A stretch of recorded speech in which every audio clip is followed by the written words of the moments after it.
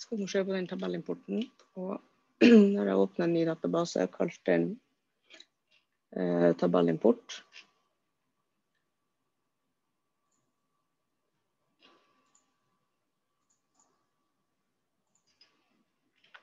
Sånn her. Og så skal vi først laste opp den eh, tabellen i Excel. Da går vi på eksterne data, ny datakilde fra fil og Excel. Bla gjennom og velge det som heter postnummerregister. Vi må jo finne en del dere har lagra selvfølgelig. Importer kildedataen til en ny tabell i hjelp med database.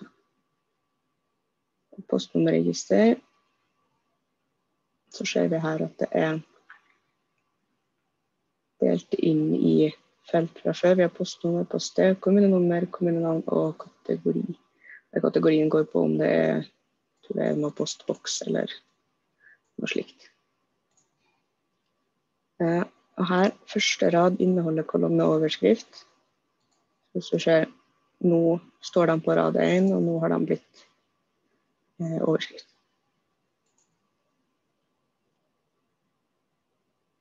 Ja, det her eh, gjør vi ikke noe med.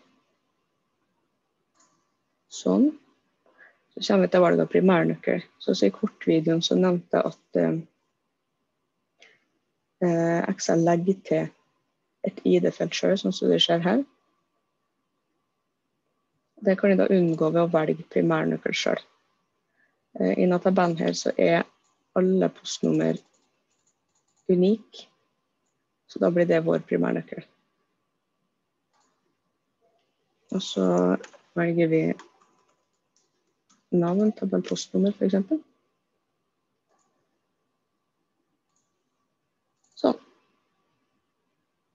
Da har vi fått inn den. Og så ser vi også det at Da skal vi nærmere inn på i ikke ti eller noe sånt. Men poststed, kommunenummer og kommunenavn er jo det samme for alle. Så egentlig så er det jo bare postnummer og den kategorien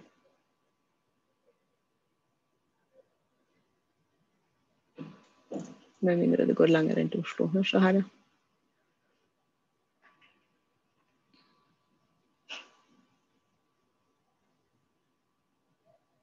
Men sånn som Molde har jo alltid samme kommunenummer.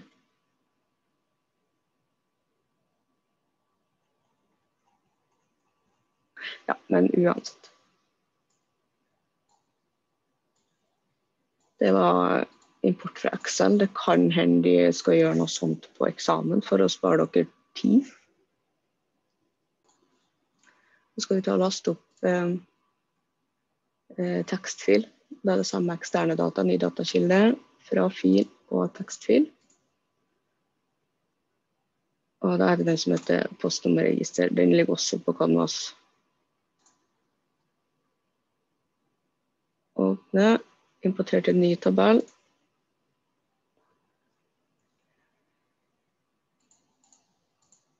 Og her eh, er det ikke oppdelt i kolonner, sånn som det var i stad. Og vi kan ta og åpne den uh, tekstfila. Vi ser på den. Her ser vi at det er atskilt med tabulatortegn. I Excel så står de her i hver sin celle. Så da skjønner jo Access hva, hvor skillet går hen. Men skilletegn, tegn som komma eller tabulator, skiller hvert felt. Eh, og så står det fast bredde. Vi kan jo prøve fast bredde først. Og det gjorde ingenting. Og så prøver vi komma eller tabulator. Og da ser vi vi får opp Eh, streker her.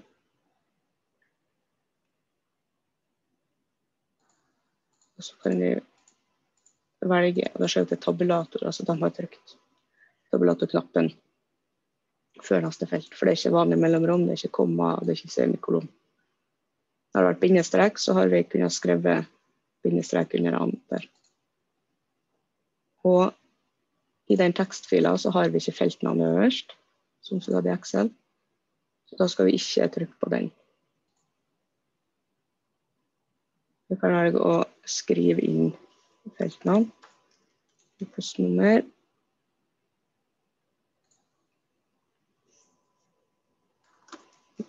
poststed og kommunenummer.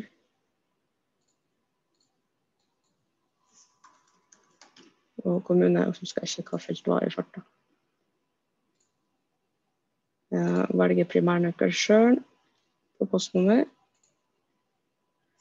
Og TBL postnummer to, f.eks.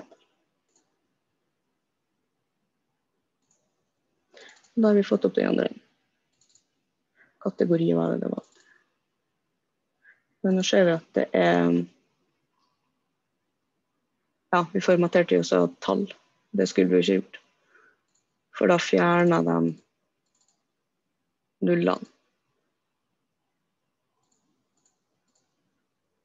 Men da vet vi det til en annen gang vi skal laste inn noe der det er tall som begynner på null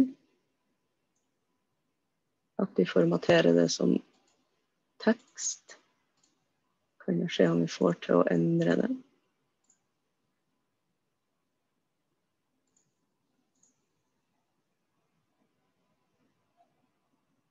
Ja, nå ble det jo bare surr.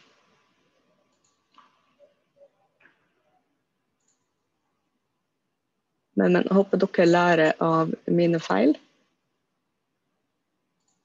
Så kan vi ta og gjør det steget der på nytt, så kan jeg prøve å få det riktig òg. Last opp fra tekstfil, postnummerregister.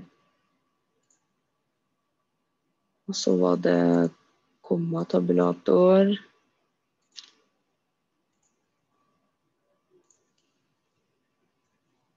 Og så lar vi alt det der bare stå, tror jeg.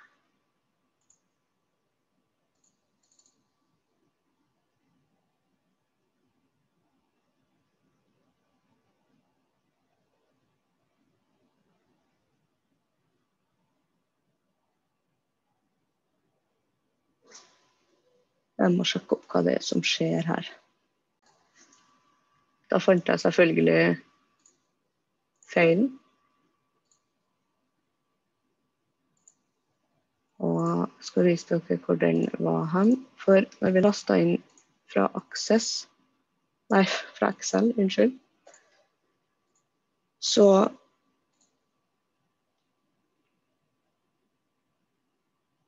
sto det vel eh, kort tekst der fra før. Og det gjør vi selvfølgelig både felt 1 og felt 3, og endrer dem til kort tekst. Velg primærnøkkel sjøl. Felt 1, yes. Og tabell postnummer 2.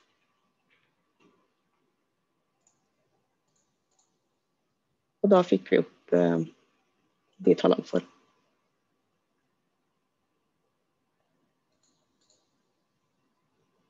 Da skal vi ta og lukke, lukke den databasen her. Og så skal vi åpne ny og importere eh, tabellene fra det løsningsforslaget og legge inn relasjoner i dem. Så er de klar til at vi begynner å jobbe med spørringa neste uke.